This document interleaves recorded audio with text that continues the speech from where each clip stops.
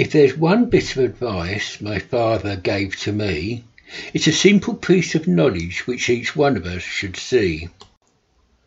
Whether it be a king or queen, a judge or magistrate, a soldier or a policeman, or just someone you hate, a teacher in the classroom or a bully in the school, a pope or an archbishop, the boss calls you a fool, you have no need to worry, stand high and strong and true, for even though they hold the power, they shit the same as you.